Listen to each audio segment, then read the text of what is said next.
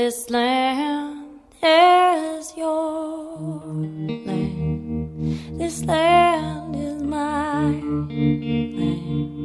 From California to the New York Island. From the Redwood Forest to the Gulf Stream waters. This land was made for you Welcome to the People Speak radio show. I'm your host, Samantha Legend. The People Speak airs every Tuesday, 6 to 7 p.m. Pacific, 9 to 10 Eastern on BBS Radio Network. You can participate during the show with call in questions for our guests toll free in the USA and Canada at 1 888 429 5471. And if you have a smartphone, you can download our app at BBS Radio Douglas Newsom. Tonight we have a special guest, Larry Payne.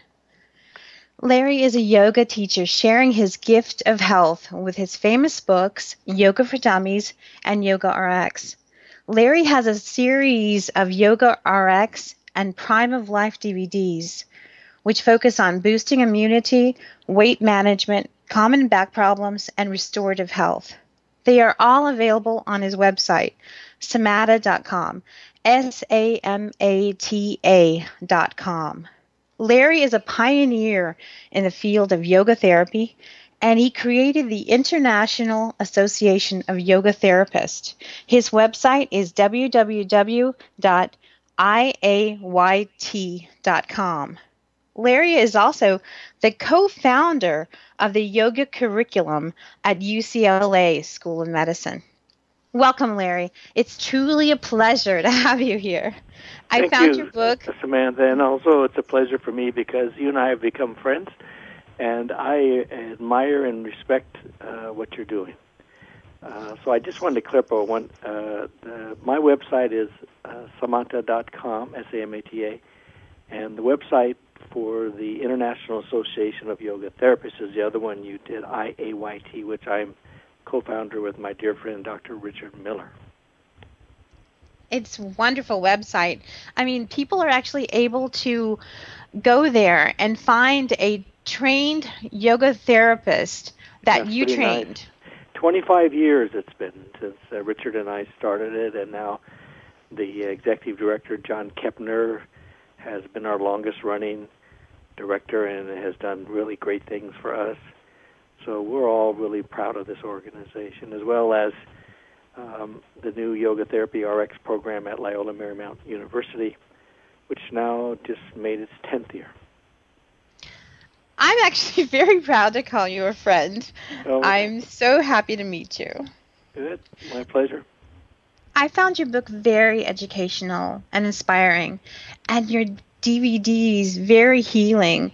I want to thank you. There's nothing better than the gift of health. I mean, I feel so much better. Well, you know, it's Just in the days nice had when you're going to be in an interview with somebody and have a chance to really look at the things. And I know you took the time to do that, and uh, so that's also helpful for everybody else that you're talking to, you know, on uh, your whole network. So I, I appreciated that. Well, I'm so happy with the results. Ah, seriously, I have only been doing it what a week, Mm. or I've got them about a week and a half ago, right? So I so it took a little while to get me get them, but they are amazing. I feel better energy, get better rest. I'm so amazed and how Well- much I've improved. Thank you very much. Uh, I- Larry- I'll send you. I'll send you your check in the mail. wonderful, wonderful. Oh, that's great. So, Larry, what led you to the path of yoga and meditation? Well, mine I think is an interesting one. I, I was actually an advertising executive. I was the West Coast manager of advertising sales for McCall's magazine, which was a, it was a high pressure job. And uh, I developed a back problem, and I went to a lot of the doctors in LA, and we have some good ones. And nobody could figure this thing out. And so finally, my running partner literally dragged me to a yoga class. Unfortunately, it was a compassionate yoga teacher. She was an elder lady who was a disciple of Indra Devi, who I later met and became one of my teachers.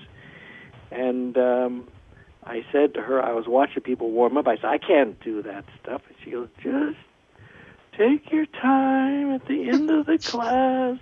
You'll get a surprise. And son of a gun, she was right. At the end of the class, she did a 10 minute relaxation. And this back pain that I had that felt like a dog bite, like for a year, was gone. And it lasted for four hours. And I felt like I was high. It was a very uh, wonderful, strange feeling. And I said, This is for me. And I just jumped into it full on. I found a teacher close to me and really started getting into it. Well, your DVDs and your book has made me jump into it. I am definitely going to be doing yoga the rest of my life. Wonderful. So, in your book, Yoga for Dummies, you provide many essential health benefits for well being. Can you share some of them? Yes, this is the third edition of Yoga for Dummies. And by the way, Wiley Publishing is incredible. I mean, it's that book is in over 12 languages, and they mm. keep coming out with revised. You always add a little more. And later on, I'll tell you about the, the latest book that's coming out um, for yoga therapy. But um, you know, the main health benefits of yoga, number one, hands down, is stress reduction. So, you know, the American Medical Association says that 80% of all illness has a stress component. So if you can have a do-it-yourself program or go to a class and walk out and reduce your stress, that's a big deal. It really is. Um, the other thing is that almost all doctors like the fact that it's very good for your circulation, and there are tests now that show that as far as your heart and so forth, you get a lot of the same benefits as if you were running or something. I mean, it's like an amazing um, system of holistic health. And then most people think about that yoga is just about stretching or something like that, but it's really uh, about balance. So you know, strength and flexibility. So you don't have to be a Gumby to do yoga, and um, and also if you're someone who needs strength, you you can get you know both of those. Another one, and I'm just picking my top five. You could go on if you go to the IAYT website, it'll give you like a 200 things. But these are my top five. The next one is willpower, concentration. So you wouldn't think that doing a yoga practice would have anything to do with opening the refrigerator door, but it does. I mean, you, one practice one discipline helps all your other disciplines. And the last one is what I experienced in that class, which was this overall sense of well-being. And I don't want to just go on and on, but I one other thing I wanted to say about it is it really hit home. Back in the 80s, I started the corporate yoga program at the J. Paul Getty Museum, and um, at that time they were in Malibu, and now they have one in Brentwood. And I actually, my programs are still going in both of them. But uh, where we did yoga was two doors down from the head of security, and what used to be J. Paul Getty's uh, dining room. And so mm-hmm. after I had been there about three months, the head of security invited me in, said he wanted to see me. I tell you something, I was nervous. And so I came in. He said, "Sit down, Larry. Is that something I need to tell you?" I said, "Yeah." He goes, "Since you've been teaching yoga here, everybody who passes by my door is nicer to me." it was hilarious, that he was serious. You you get in such a wonderful mood, and it has a ripple effect. And here in Los Angeles is the mecca for yoga, and so there are literally, you know, in Santa Monica, California, there's people walking around in a state of euphoria all the time from all these uh, yoga classes here. So the, those are my top five. Well, I'm enjoying the state of euphoria now because I just did the the neck upper back workout before this oh, class yeah, before this, so I feel great. That's a good Um, is there any potential for harm or injury during yoga? I mean, how can people avoid them? I mean, well, with your really classes, is, and there now there are Uh-huh. you know there are you know there was a magazine article in the New York Times about said yoga can wreck you, and um, it's true.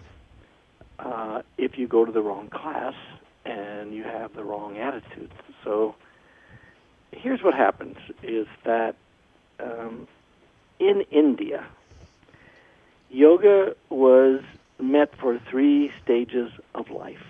And if you really give credit to the person who has more than anyone, according to Wikipedia and uh, many other sources, um, inspired yoga, uh, modern yoga, his name was Krishnamacharya, like Hare Krishna, Krishna Macharya. And uh, he sent two real famous people to America. One was a guy named BKS Iyengar, who just passed away, who was amazing. And another one was Pattabhi Jois. And uh, both of these people learned yoga when they were 16 years old from him. Later, he sent his son, who was my teacher, TKV Desikachar. Now, what happened is that this yoga that came here that was designed for young boys, it was real popular. A lot of people were doing it. But then all of a sudden, people that weren't in the right either uh, state of fitness or the right age were walking into classes where um, people were doing crazy things like one arm handstands and things like that, and they're getting injured. So, if you look at the life of a professional athlete, I always use this analogy. They they're out of the game by the time they're in their late 30s or 40s. Kobe Bryant's talking about retiring at 36. So the body definitely changes, and by 40 for sure. So if professional athletes have to modify what they're doing at different stages, then it makes sense that we in the yoga class should modify what we're doing. And unfortunately, the people over 40 are the most underserved group in in America, and I'm doing something about that. Now, this doesn't take away anything from the value of yoga for you know the young and restless. You know, uh, something from like 15 to like you know 40, that's fine. But just for this largest segment of the population, in my opinion, the yoga should be modified. And that also, in my opinion, is why people are getting injured because they're going to a place and they're trying to you know fit in, or they you know they have old football tapes or whatever it is, especially guys and uh, they get injured. So you you know there are, there are some definite um, principles that you should uh, practice when you're when you're taking the class, and also for the teacher. I am so glad you let us know and let me know because I guess I'm spoiled because I mean I have the number one yoga therapist right here on my You DVDs teaching me how to do things, you know. I I really suggest everyone do that. Get these DVDs. They're working for me. Um, this Oh, is the People Speak. Huh? Well, th- there's um, you know, the, uh, that book Yoga for Dummies really talks about how to pick a class. Uh, and what's funny is, you know, the name is a turnoff to some people, you know, the dummies. But people who have writ, you know, read any of these yoga, for any of these dummies books, they're all very good. And uh, I know a lot of yoga teachers in LA who have a copy. They don't take it out and show anybody, but it's always in their back pocket. There's some great things. And my co-author, who unfortunately passed away about a year and a half ago, uh, Dr. Georg Feuerstein, um, he had all of the philosophy things in there that are ageless. You know, principles about yoga philosophy and so forth. So it it has a lot of good things in it, definitely. Well, you have Yoga Therapy RX, which includes common upper back and neck problems, weight management for people with curves, common lower back problems, and then women's health. And also, we have the Prime of Life Yoga, which I'm enjoying too. I mean, this we immune know those booster principles is great. from time of life yoga is, uh, could apply to anybody who wants to just take it sort of a easier start or beginners and so forth. But how I describe prime of life is that uh, I was at a party uh, in Santa Monica, and this man was there. He was 55, and he was talking to me, and he said he went to three different yoga classes, and he couldn't even do anything in the class. It was just driving him nuts. He says, "Here I am in the prime of my life, and I can't even do yoga." And so that name stuck with me because when you really think about it, a lot of people are in their prime, 40 something to 70 something. You know, they're at the top of their game and what they're doing. They're making more income. They have their families around them. And that's a wonderful time in life, 40 something to 70 something. And there's a lot of websites that say 50 plus yoga, but I, I think it's more like 40 something to 70 something that people can do this kind of stuff, a little modified.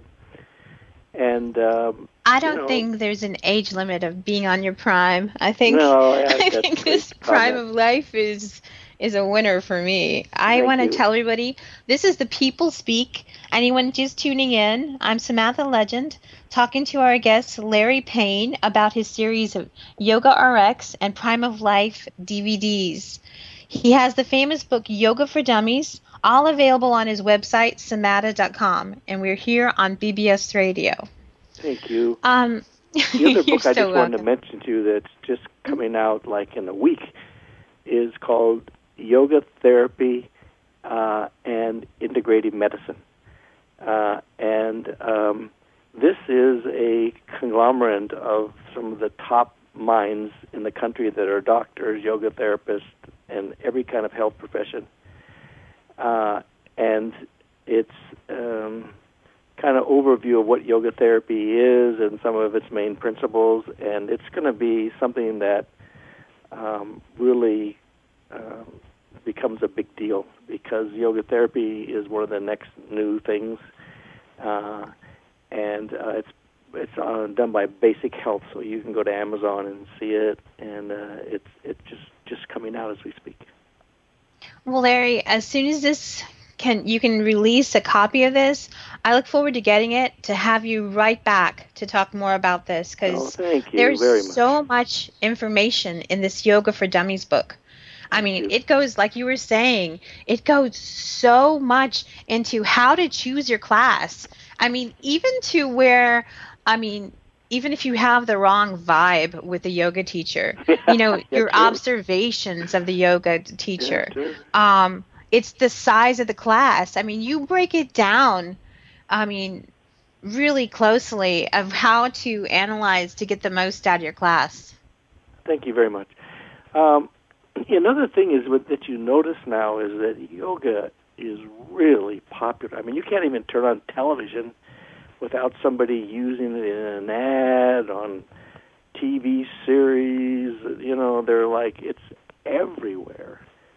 So it's kind of like you know why is it so popular? You know, and and I I think it goes back to that it really is something that you can do to reduce stress because all of our lives now with all of the media and their cell phones and the TVs, the computers and all that are just creating so much stress. And here's something that, you know, you can pop in a DVD or go to a class and, uh, you know, you can improve the situation. And uh, it's just booming. And like I've mentioned before, Los Angeles, California, especially Santa Monica, is like the mecca for yoga. And it's really kind of funny. Everywhere you go, somebody's walking around with a yoga mat. now, Well, here's something else too. I'm that- glad. I'm just gonna do have mine. I mean, I'm using my DVDs and I'm sticking with them. So Thank you. Uh, the Um, same man I mentioned, Krishnamacharya, Mhm. who got credit for being, you know, the person responsible for modern yoga. Uh, back in uh, oh the the like I would say late '60s, early '70s, he got his first ever Western male middle-aged student, and his name was Dr. Albert Franklin. His daughter's still alive in the Midwest, Anne Franklin, and um, he was the ambassador to India from uh, from America. And so, when Krishnamacharya worked with him, he started to modify his practice. So that was the first time after he sent over these two um, representatives, Pattabhi Jois and B.K. Iyengar, that he had something a little different. This is what I call the contemporary teachings of Krishnamacharya and more modern yoga. And so he calls it Vini Yoga, which means that you adapt the yoga to the whole person. And there's still, um, you know, Vini Yoga America with Gary Kraftsow, who's an excellent teacher. And um, the, the the the name changed over. There was a, some political things, but that that principle still works really well. And so those are the principles I use for my prime of life yoga. Um, and but what's interesting to me is the same giant, the same man who was so popular for the you know modernizing the yoga, especially for younger people, also has this other chapter that has to do with people from midlife and beyond. Hmm. Um, we actually have a question here from Mike in California. Hey, Mike. Are there? hey, Mike. Um, are there any prerequisites, apparatus, or physical requirements necessary for doing yoga? Can a disabled person do this? Absolutely. And what happens is that it brings up the topic of yoga therapy. So, yoga therapy is designed really, I mean, there's pages about the definition of yoga therapy at the IAYT website, but um, yoga therapy is mainly for people who don't fit in a group class. They have some need. It could be physical, emotional, spiritual, something that doesn't function in a group class. They usually need one on one attention. So then there are also special groups, like we call them focus groups whereas there might be a whole group of people that I taught for the MS Society. Um, and there's a group of people that have Parkinson's or they have low back or, you know, they're wheelchair bound or any of those things. Um, either fall into yoga therapy like one on one or into one of these focus groups where everybody has kind of the same condition. So, absolutely, uh, you know, you don't need any kind of pre anything. And um, if you're doing your yoga, all you basically need is a yoga mat, or if you are in a wheelchair, uh, you can do it in a chair. And there's a, all kinds of um, new videos about you know chair yoga and restorative yoga, which was something that BKS Iyengar started later on. Uh, and so, I would say, I if you can breathe and you can think, you can do yoga. What do you think that um, people should do as far as yoga off the mat to prepare for the yoga? It's a beautiful question because not only is it to prepare, it's like what you do when you start practicing yoga. So there's a lot of realms. First is the physical realm, and one of the ones that I teach the yoga therapists at Loyola Marymount University, our yoga therapy RX program, is that you know walking is something that people take the a couch potato takes 2000 steps in a day so average person somewhere like 5 to 10,000 steps so if if you have something that's not correct in your walk uh, that that you know times 2000 5000 times that that's a big deal so I teach them about the body mechanics like off the mat um, and uh, so I call it a biomechanical reeducation. And I, I learned a lot of that from my early mentor, Dr. Leroy Perry, at the International Sports uh, Science Institute in in uh, in West Los Angeles. So, um, how you walk, and these are the physical things: how you sit, how you sleep, and seriously, how you make love. These are all things that you could improve uh, with a lifestyle practice. Then you have the whole mental part of it and um, spiritual part of it. So yoga has eight limbs, and half of them are about how you treat other people and how you treat yourself, and then how you evolved through things like, um, you know, sense withdrawal and, you know, advanced breathing and meditation and you know on your path towards enlightenment. So there's all of that as well. And, you know, people don't realize is that the original yoga um, was handed down was all about the mind. So it, it, you could say that yoga is maybe 5,000 years old, but the postures that people do are only about thousand years old. And this is usually under the category called hatha, and most of us mispronounce it hatha. We've Americanized it. It's hatha yoga. Those are all about the physical practices. Then you have the other aspects like meditation and you know how you treat other people, how you take care of yourself, um, that are beautiful, and they're laid out nicely in what is called the Yoga Sutra. So sutra is a condensed nugget of spiritual wisdom, and um, there's about 195 of these. Some people say 196 that are in this uh, system that was first put into written word somewhere like 200 AD or 200 BC, and uh, now it's been translated thousands of times. And so, you know, people don't realize that yoga is a is a very, very incredibly comprehensive system that acts like a booster rocket for almost anything. And it's not a religion, but some religions incorporate some of the principles in their ceremonies and things like that. But yoga by itself is really an incredible, probably the original holistic health. Hmm. That was a mouthful. Um, no, no, no. Please, I I love this. I love this. Um, you know, you touched on a few things that I wanted to get into deeper.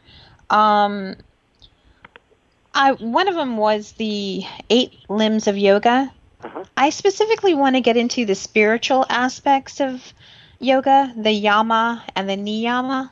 Uh-huh. Yeah, I wanted um, our listeners to hear this because a lot of people have these misconceptions about yoga being a religion, you know, on itself. So I wanted to get into this. I mean, because it's kind of the cherry on top of, you know, a religion because of the moral disciplines and the self self restraint that is incorporated in this whole way of life? Well, um, we can start with again about that yoga is not a religion. I call it a booster rocket, um, and how it gets confusing is that the very first yoga teachers to come to America, uh, 1893, was Vivekananda. Um, he was basically a Hindu monk. And then Swami Shivananda sent his two disciples, Vishnu Devananda and Swami Satchidananda, and they were Hindu monks and they also taught yoga. So people were a little confused. You know, they wore robes and all this kind of stuff. But when Krishnamacharya sent his disciples over, they were what is called householders. They were married, had kids. And so this was much more appealing to a lot of the people in America and became, you know, much more popular. But what you talk about as the eight limbs or the core of yoga, um, there's the yamas, you know, uh, the do's and don'ts, if you want to say, a, you know, yama, niyama. There's asana, which is body postures, uh, and that's all part of hatha yoga. There is pranayama, prana meaning life force, ayama to control or extend, pratyahara control of the senses, dharana which is concentration exercises, dhyana um, meditation, and then samadhi. And you know, samadhi. I, I haven't met too many people who really reach samadhi. You know, and some people use that term lightly and so forth but um, I, I haven't met too many who got there. Uh, I have met some, uh, and when I was in India, and uh, but those are the eight limbs that you were talking about. Yeah, I was really interested in the moral discipline, the yama uh-huh. of of yoga. Uh-huh. I I find that very intriguing. Well, it is, and uh, um, it, it, it you know these are all steps um, you know, about uh, the first one, Yama is about, you know, how you treat other people. Um, And uh, like for instance, ahimsa, which is non-violence, non-harming. That's like the number one. Satya, truthfulness. Asteya, non-stealing. Uh, brahmacharya, which is says celibacy, but how that applies to people who are married is that you're true to whoever your mate is, that you're not a yoga teacher or somebody out there just jumping around being a playboy or something like that, you know. And uh, aparigraha is, uh, you know, non-covet, non-possessive, like that. Um, so that's the one that you're, I think you're you're you're mainly interested in. Yes, yes, because I mean it's it's putting it all in, you know, all different aspects, you know, the heart, body, mind, you know, body, mind, spirit, you know, the whole unity, the yoke that yoga, you know, is, the character of yoga, you know? Definitely. And um, I, when Now, I'm one, learning you- this, you know, you it's amazing these, to uh, learn so much. disciplines and so forth. The, the niyama, which is the next one, um, that has to do with, um, you know, purity of your of everything, your body, your mind, your speech, and so forth. Uh, called saucha, and santosha, contentment, acceptance of others, and so forth. Tapas, persistent meditation, and uh, um, austerity is part of that. And um, svadhyaya, the self-study of reflection, and Ishvara Pranidhana, which is the study of about God, basically. Um, so you, you know, you could look at all of these, and then the one right after that is the one all about asana, and that is where most people think yoga is, and I think it's really astute of you to be attracted to the very first one, the yamas. Yeah, I I had no idea yoga was so all encompassing. And By the way, I just um, want to interject something. That is that uh, Sanskrit pronunciation really helps if you were born in India. so I, I apologize to anybody who's a scholar out there if I uh, mangled any of the pronunciations. But that's uh, you know from a Western standpoint, that's pretty close. it was it was good for me. So Right. no worries. Um, Larry, what is the yoga diet? I was reading that I would looked at the yoga diet and some yogis are not well don't to eat um, any onions or garlic. Well, Why is that? see you. It's all about what path you're following. Okay. So the monks, a lot of the monks who are celibate. hmm So I mean, it's like they don't want to even think about sex. So they don't. Onions and garlic are stimulating. So that's where that comes from. Eh, Um, is that that it, it would stimulate you to maybe think more of those thoughts. Now it sounds so crazy to us in this society, but when people are going off to really just ponder God and you know just go very within and not be distracted by anything, um, I, I did that for a month uh, in my very first training, and I, I, I noticed, uh, you know, a difference. But Hmm. when you talk about yoga diet in general, uh, this is always very controversial. So somebody Okay, Before we get into this controversial area, yes, you know, I want us to take a break, let people, you know, oh sure, kind of listen to this and kind of think about all the in-depth things you've been talking about. oh thank you. Um, I'm your host, Samantha Legend, and we'll be right back with our guest, Larry Payne. Our number to call in to ask Larry questions is 1 888 429 5471 here on BBS Radio. land was made for you and me. You're listening to The People Speak here on BBS Radio. I am your host, Samantha Legend, and we're back with our guest tonight, Larry Payne about his series of Yoga RX DVDs and the famous Yoga for, for Dummies book, all available on his website, samata.com. S A M A T A.com. The number for call in questions is 1 888 429 5471. Well, Larry, okay, back to our yoga diet and the information you were giving us. Okay.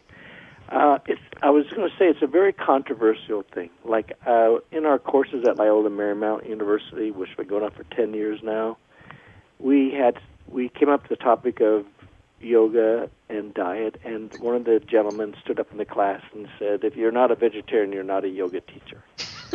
And then the whole place went crazy. You know, everybody's talking back and forth, and you know, when you reach the highest level of near samadhi or something like that, they do recommend that you you have something like a vegetarian diet.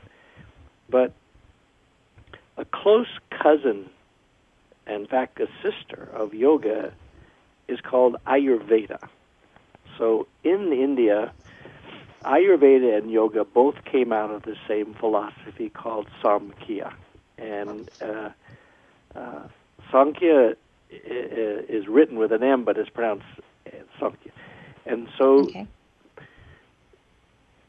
Ayurveda is a close, you know, sister. So, in the textbooks of Ayurveda, they have pages on conditions like if somebody has asthma, well, they recommend animal protein. Now, people can get upset with me and so forth and so on, but it's there. So I think it's wrong to say that there's any one thing is the yoga diet. Even my teacher, Desikachar, said there's no one yoga diet. It depends on the person. So depending on your condition, uh, where you live, for instance, this is a mind blower. The Dalai Lama is not a vegetarian. He has a condition where he has to have meat. So, mm-hmm. um, you know, you can use all of these uh, ideas and so forth, but I would say that what we really want is to have food close to nature. And um, if someone can be a vegetarian, it's great. Um, and uh, like there's great um, products out there uh, like um, uh, that, that help people guide them to do these things uh, to get on track if they want to try it. But some people try being a vegetarian; it doesn't work for them. People try being having raw foods; it doesn't work. So I, I believe it's a very individual thing. It depends on your genes and and uh, you know many things. But for people who want to be vegetarians, I think forks over knives is a real nice concept.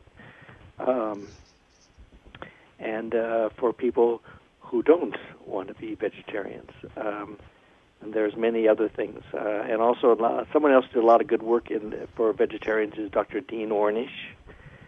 And um, but I think a lot of these people, you know, doctors also realize that some people have special needs. So I think it really depends on you.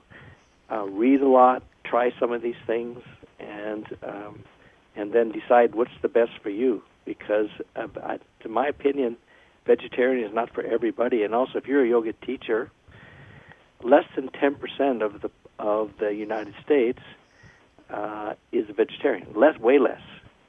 So if you only give people advice as a vegetarian, you're losing like 90% of your audience that don't want to do it.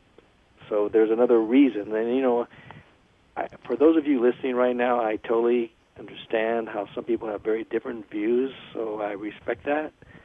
I'm just giving you my view. Well, I wanted you to get more into the Ayurveda. Um, you you said about the animal protein for asthma.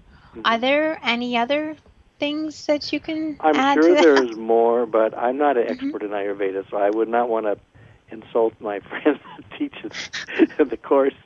And uh, I'm not an expert. I've just had a little bit. Um, I have met some very wonderful Ayurvedic teachers so I would just like to say in the United States, the man who's probably respected the most is a man named Vasant Lad, who I met okay. early on, who was on the original board member of the International Association of, of Yoga Therapists. And any of his books, also David Frawley. I'm just giving you some of the names okay. uh, that I, you know I'm familiar with, um, but there's more okay. of them out there. But Ayurveda is the science of life, And um, in India, there are a lot of yoga therapy programs that have both. And even here in America now, they people have both. So uh, in India, you might have an Ayurvedic center that has one room that they do yoga in. Here in America, you have yoga being by far the overwhelming, you know, most popular, but Ayurveda is coming along. And also in here in Los Angeles, we have LA Yoga and Ayurveda uh, with Felicia Tomasco, who's an incredible editor, and she bridges both of these worlds and also teaches in our Yoga Therapy RX course. Okay, everybody, this is the People Speak, and I'm Samantha Legend talking to our guest Larry Payne about his series of Yoga RX and Prime of Life DVDs and his famous Yoga for Dummies, all available on his website, samata.com, S A M A T A, here on BBS Radio. Um, we have a caller on line two. Caller? Hello, Larry. Hi, who is it? Hello, it? Larry. This is Mike. Hi, Mike. California, and Oh, I have California. a question what part for of you. California? Uh, Southern California, you're in my hood. and uh, my question for you is, uh, what exactly distinguishes your yoga from other yogas? Uh, because I've been practicing Bikram yoga, and I find it to be rather strenuous, almost athletic, in some respects. Uh, what? Uh, how do you? Well, it's all about who your teachers are, and uh, Bikram is a very popular style. And his wife Rajeshwari was on the, uh, and he was a friend of mine, and the Bikram is an old friend. And so I I think that you will find that it is athletic. And uh, actually, if you take his, uh, I think his 26 postures, they're, they're, uh, it's a very good system, but it's intense. You know, you're in heat, and that's not good for everybody. And I think I would personally, after doing this 35 years, I would rate it as sort of an intermediate course. So uh, it's a little harder to do as you get older, you know. And So you would uh, rate Bikram as an intermediate course, as opposed to yours, which is for any level, or is that? Uh, No, uh, my particular style that I, I I have two things I'm involved in. One is yoga therapy, which one on one, but the main thing that I teach is called Prime of Life Yoga, and so I'm focusing on 40 plus, 40 something, which has 120 million people, and it is the most underserved in America. And talk to somebody who's 60, 50, you know, and ask them, you know, when they go in the classes it's it's hard. Um, so um, what I'm trying to do is trying to you know make these principles available. Some of them are this that at this stage, and again, this is from Krishnamacharya, who is the person given credit for being, you know the father of modern yoga. He taught differently when he got somebody middle age. So. So what I'm asking specifically, though, so like your exercises are modified; they aren't extreme positions, or they are the more gentler, easier. Yeah, they are positions? modified. I, uh, for instance, we have something called forgiving limbs. You can soften your arms and legs, and that that that that was unheard of when I took my first yoga class.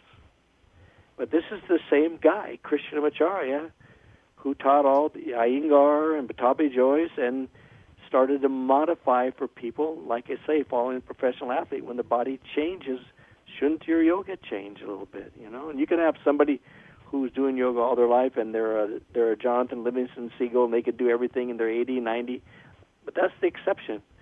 Majority of the people after 45 and up, you know, a little modification helps. And I think that people are getting injured when they're trying to push themselves into something that intuitively doesn't feel right. Also, Larry, because of the different uh, background es- ethnically, you know, certain countries they're brought up a certain way. They sit on the floor, or Absolutely. they, you know, they're used to doing that kind of. Uh, Absolutely, Uh, you're absolutely right. and Americans are not used to that. That's what I'm getting at. You know, what Yeah, what no, you're right. your yoga? Yeah. Yeah, and uh, Yoga for Dummies talks about that, um, and uh, this third edition especially. And uh, you're absolutely right. How old are you, sir? May I ask? Late twenties. Late twenties. Okay, so I mean, you shouldn't have too much problems. Um, and if you're doing the, the Bikram, I think it's probably really good. You're doing fine in there, and you like it. Um, but uh, the the one that's the most challenging, the most difficult, hands down, in my opinion, is Ashtanga yoga.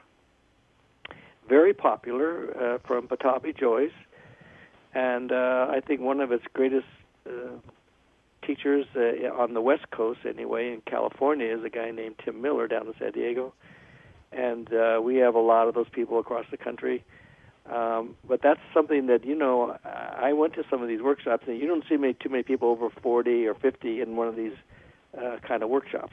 Um, so I, I'm just trying to create a safe place for people, you know, who are over 40. And, you know, the way it is now, because yoga is so popular, it kind of goes like from flow yoga to chair yoga. You know, there's nothing in between. Mm-hmm. so, you know, you don't have to do wimpy stuff to do prime of life yoga. You know, it's, these are people who are active, out doing st- things, and just don't want to get injured and have a long, healthy life. Thank you. You so know, much. You're There's welcome. thank you so much, Mike, for Thanks, calling Michael. in. Appreciate it. Um, you know, when we're dealing with your immune booster and general conditioning, there's there to me there's no age limit. It's just I mean, you are actually getting really good circulation. I mean, you are opening up those those vertebrae, getting circulation in there Oh, you. gently. You know? Boy, I, I just, uh, just, I'll just play you when I want able to read my, by myself. I appreciate, no, but it, it really did help for you to see it because you got a chance to experience it firsthand. And really, any age bracket can do my particular style, but I really focused in towards this 40 plus because there's so many other styles for people under 40 and so forth. But um, if if you use these principles, honestly, no matter what age you are, um, they're very good principles that came from Krishnamacharya. Mm. Are there any specific supplements you suggest for the to treat the body? You know, supplementation, vitamins, anything? Well, I, I believe in multivitamins, and Okay. um, I think that you know you keep having these different studies that one you know one year that they're in and the next year they're out, and you know. But I, I haven't met too many people who overdosed on uh, vitamins. You know, it's more like other drugs. So I I do take supplements. Okay. And uh, I work with Dr. David Allen in, in the, Okay. his longevity optimization center in, in Santa Monica, and he's a big proponent of that. And uh, so I, I think for men, you know, uh, there's certain vitamins. For women, certain things they need to take uh, as they move through life. And uh, so I, I do take a multivitamin. Plus, I have a personalized uh, vitamin schedule I got from my doctor. Uh, wh- what's you know what will be help me. and that was uh, David Allen? David Allen, yeah, he's Okay. amazing. All right. Um, All and right. um, so, but it's like it's. It, I think you need to work with somebody who's going to give you a blood test, Okay. and then from the blood test tell you, you know what, you need this and you need that. And uh, you know, it's same thing with women and the hormone level, men and their hormone levels. Mhm. Sometimes they need some help, and then you have people, doctors, traditional doctors, who say, "Well, you're in the normal range." The normal range is really huge. So you know, It do you want to be It in is. the bottom bottom of normal, or do you want to be in the top of normal, in the middle? And so often, some people will say, "Oh, you're normal, but you're way at the bottom of normal." So I, Mm. I, I I believe in supplements personally, and I, I've Um, taking them a long time. Sorry to interrupt you, but in the hormones, you know, one of your restorative health, the women's health, Uh-huh. it um, helps with the endocrine issues, you Uh-huh. know. So, is there any possibility of a person that's on, say, thyroid medication that with these kind of exercises, this high circulation, this high um, opening up lymphatic pathways, that you could get off of these medications? my personal opinion is, and I've been around this a long time because my first mentor was the father of holistic medicine in America. His Mm. name was Dr. Everett Loomis, bless his soul. Dr. Everett? Everett Loomis, father of holistic medicine in America. He had a place called Meadowlark, and he had to take his thyroid out when he was young, and he was on thyroid medication. Oh, so I think when it comes to the thyroid, it's pretty hard to get off of it. But they have kind of more natural forms of medicine than hardcore medicines for thyroid. okay. Synthroid, and you know, they have different things. But I, think that when you have thyroid problems, it's pretty hard to go natural. So that's one of the ones. Uh, this is my opinion, and I I work with a lot of doctors. My, our program at Loyola Marymount is yoga meets modern medicine. So we have lots of referrals. We also learn how to take what they call soap notes. You know how they they all talk to each other with these notes, and uh, the doctors want us to know medical terminology. They're not going to look at Sanskrit names and things like that. You know, so I, I've had quite a bit of interaction uh, with doctors, and there's some great ones out there. But I think, you know, I, I, I lean more towards the natural way. But there's sometimes, you know, if you've got a nasty cold and it's it's and you're going into your lungs and you know you're laid up, you know, sometimes you need the antibiotics. You know, if you Yeah. have uh, you break your leg, you need an operation. You know, so there's.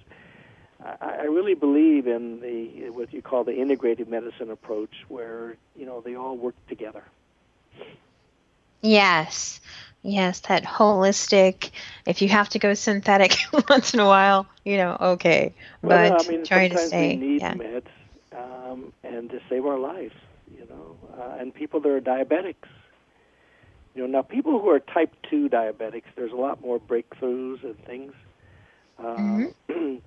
so, uh, but there's certain just conditions where you really, in my opinion, you just you need to be with meds, and there are certain things that you can you can go with supplements, it just depending on what it is, and that's why it's good to work with a great health professional. Well, that's what you are to me. Well, I you. consider you a great health professional for sure. Um, I was wanting to get talk about this one pose that um, the warrior pose. Uh-huh. You know, do you think the blossoming of positivity comes from the poses such as the warrior pose, from its Well- open body language and empowering stance? Well, first of all, all of the yoga postures have psychological effects and physiological effects. So the Sanskrit name of the warrior is Virabhadrasana. And the warrior poses were used at the top of a mountain to signal the troops below to inspire them. So Hmm. you ask yourself the question when you're doing the mount, the uh, warrior, uh, am I? Do I feel like a warrior at the top of a mountain s- uh, inspiring the troops? and I feel like these, I also, feel the like that way. I postures- do. Warrior and all the standing postures are really nice. Uh, and the particular warrior posture works each side of the body separately. So you do it with the right leg, you do it with the left leg. And so many people, you know, uh, are out of whack just because they've been right-handed or left-handed for a long time. Think about it. So by the time you hit 40 or 50, you've been right-handed for a long time, left-handed. Uh, so when you do these postures that are called asymmetrical, you work each side of the body separately. They're very helpful. So you can do them to arch, you can do them to fold, you can do them to to go into lateral flexion sideways, you can do them to twist, and you work each side of the body separately. I think they're very helpful, and the warrior is a great one. Um, when you were talking about the twist, um, you were saying that certain certain movements are not good for certain kind of problems as far as the back goes. Mhm. Uh, what are some things that you know somebody out there that might be going to another class, you know, and they're participating in a class and they don't understand that they shouldn't be doing these things if they have, say, psych- sciatica or You know, Samantha, degenerative. um, such a broad question because there's so many kinds of back. So I'll just try to answer it in the best way I can. That Please do. majority of the people in the United States and the world bend forward too much. Okay. You think about it. You wake up in the morning, you get out of your bed, you sit on the edge of your bed, you bend forward, you go in the bathroom, you take care of some business, you sit and bend forward. You get ready to go somewhere, you're over the sink, you bend forward. If you live in a place where you're driving a car, you sit and bend forward. Then you go to work, you got a computer de- there, and you sit and bend forward, and you come home and answer your personal emails, so your eyes get blurry and bend forward. We just bend forward too much. So most of the problems with the back or from bending forward too much. So you have like lumbar strain, you have sciatica, disc problems, you know, uh, uh, unstable uh, SI joint, all those kinds of things, often from bending forward too much. So most of us need to do some kind of arching. And, you know, if you just take a deep breath, that's a back bend. So it goes from that to lying on the ground, pressing yourself up into a cobra, which not everybody can do. So I would say the majority of the back problems that I see are from people who bend forward too much and have oh, weak abdominal muscles and tight hamstring muscles. Our time has come by already. Oh my You've God. been listening to The People Speak with your host, Samantha Legend. I'd like to thank our guest, Larry Payne, and remind you to go to his website, samata.com, and buy his book, Yoga Ah, for Dummies, thank you. Yoga RX, and the many DVDs to boost immunity and overall And health. the new one, Join yoga us therapy next and week. medicine. Say that again?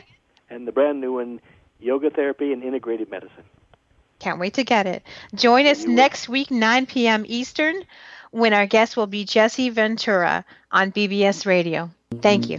One bright sunny morning in the shadow of the steeple by the relief office, I saw my people, and they stood there hungry, and I stood there wondering if this land was made for you and me. This land is your land. This land is my land. From California to the New York Island, the Redwood Forest to the Gulf Stream waters. Yeah, this land was made for you and me.